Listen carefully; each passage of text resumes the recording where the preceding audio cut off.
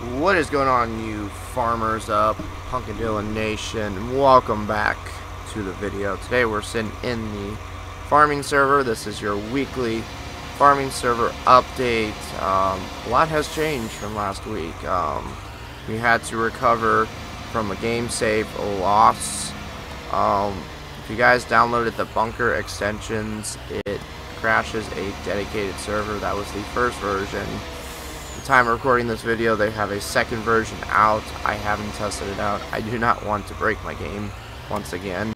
So I was very fortunate to have a very close save. So we've been busting ass.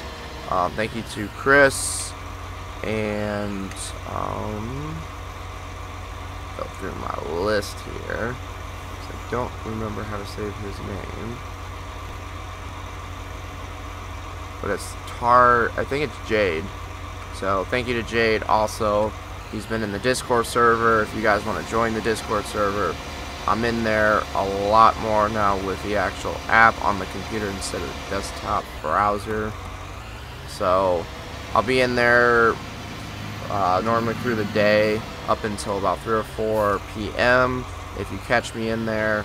Or most definitely will be there through most of the night, you know, after 10 p.m.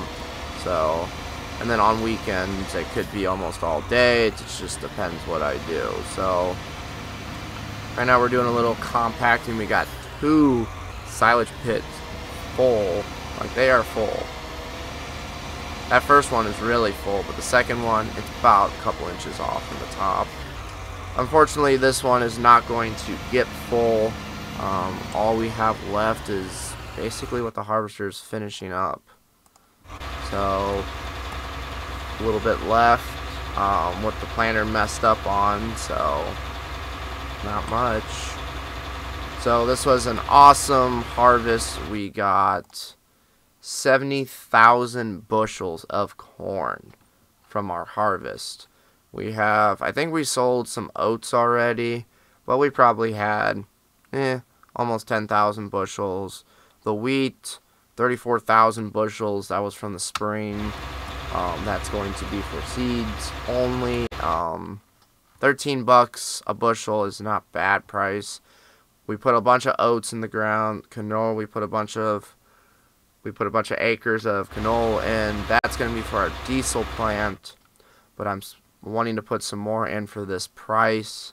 Sunflowers, we'll probably put a little bit of acreage in. Soybeans, we'll put another. Corn, you know, it has its ups and downs. So,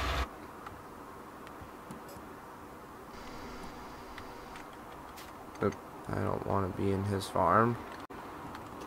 And then Jared also did all this work for me. So, very special thank you to him for organizing the farm. We're going to turn this area into um, where we're going to put the composting, the fertilizer. I'm going to probably move the hay dryer and move this silo. So I'm going to have to rip everything out and hopefully store it without losing it, which actually might be a little challenging because this has a lot of straw in it. This has... How much straw did we end up with? This is in tons, which is 248 tons of straw. That's all of field 108 plus a little bit of 119. So that was a lot of freaking straw too. I was really pounding my set, pounding my head because it was a lot of freaking straw. We have most of the lean shelters. Let's see, we have this lean shelter packed in. We got the seed tender. We have our planters. We sold the red cultivator. I don't know if I ever showed it. It was just one of the in-game ones. Let's find the door trigger.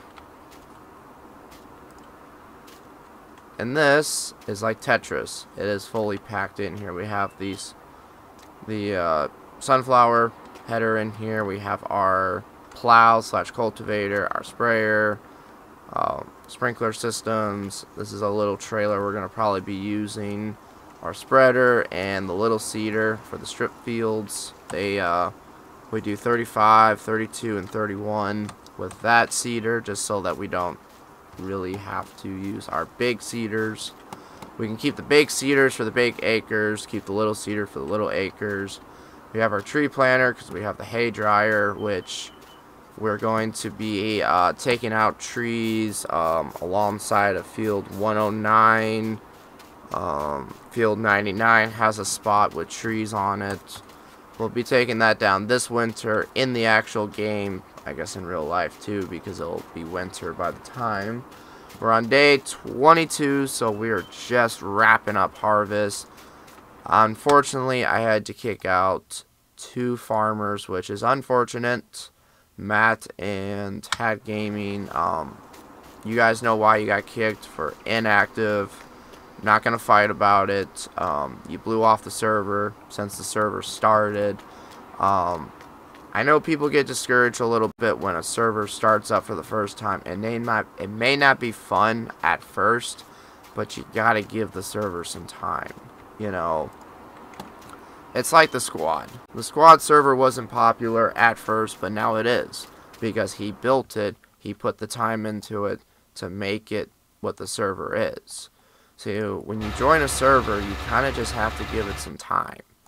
Don't blow the server off. That's the worst thing you can do.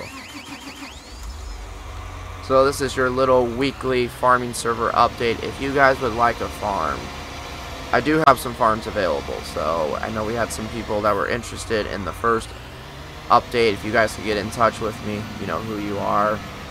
You know, I was really interested in that sheep farm. So anybody wants to do a sheep farm, they can. You can do whatever you want. You can build a big uh, silage pit like I did.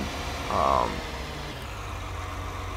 I'm definitely going to be sharing some of this silage. I don't know if I'll be using it all, but I figure go big or go home, so might as well. Of course, I have to make fertilizer, and I don't know how much silage I'm going to need for that. I don't know what the ratio is, so that's why I just made a shit ton of silage. Um, probably next season we're just gonna make depending on how much we use of silage it'll probably just be a bunch of corn.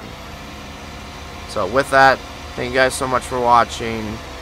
Um, I will try to live stream here soon. Um, just getting things packed up outside.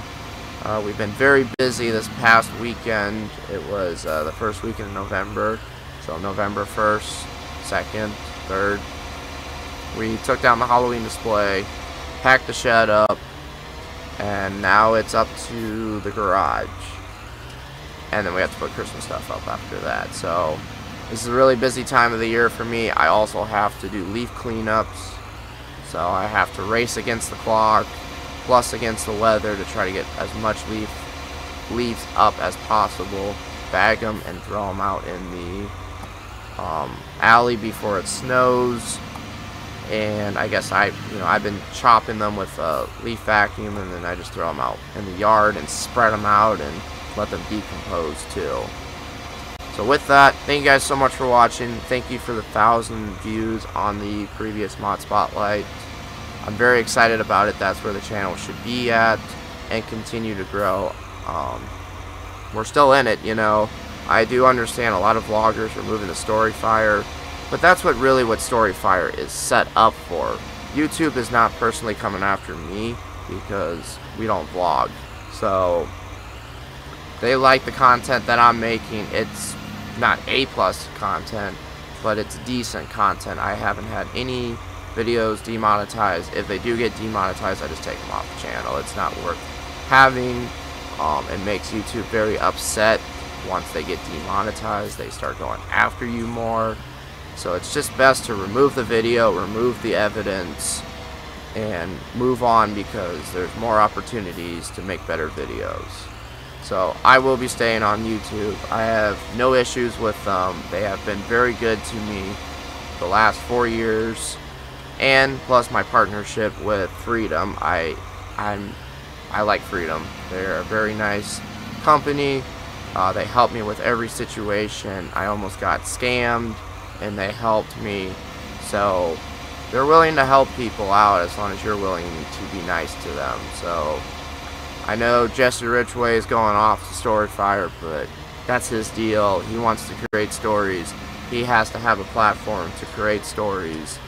And that's where I keep saying, you do something and you make sure you get an reward. It's not always about money, but you gotta get paid somehow. If that's in views, nice comments, good ratings, or profit. So, when you do something in life, make sure you get a reward. Make sure you get some form of a payment. Don't just sit there and do it for free. It could be simply as helping the community. That's your payment of making people smile and making sure that they have a good life too. But you had to do it as a volunteer. So, you know, volunteer, make sure you make a good living out there. Don't struggle. Don't put yourself down. Always strive to do good in your life. Go to college, get a good job, you know. Get the very best job you can possibly get for your skill set. Everybody's got a skill out there. Make sure you find it. Use it to your fullest. And if you're at a current job and somebody wants to do better, please listen to them. If they've especially been there for a couple years, it'll make the world of a difference for your job. And with that, we'll see you guys later. Have a great day, and I hope you guys enjoyed the update on the farming server. If you do appreciate these updates, please smash that like button. Every like helps the channel and it helps me decide what videos to record in a pinch or before work. We'll see you guys later. Peace. And don't forget to join the farming server. Be a hire helper. Be a hand on the server. Even though you may not be the be able to get a farm on my server. We will be cycling people out if you're inactive. So there are two spots open, guaranteed two spots. Please message me on Discord. See you guys. I just want to cut back in, guys. This is the last pass of Harvest 2019. Um, hope you guys can be for 2020 when we do the harvest on the server. Uh, please get in contact me on Discord. We like to hi have hired help you know, an extra hand. Need to buy this little strip of grass. And here's our last pass of 2019. The hired help over on 115 is doing the last pass of the corn harvest, aka silage harvest. Get her done, boys. This is it. Hope you guys enjoyed the content from all the server updates. I will definitely try to live stream the next harvest. This entire first season was a trial run.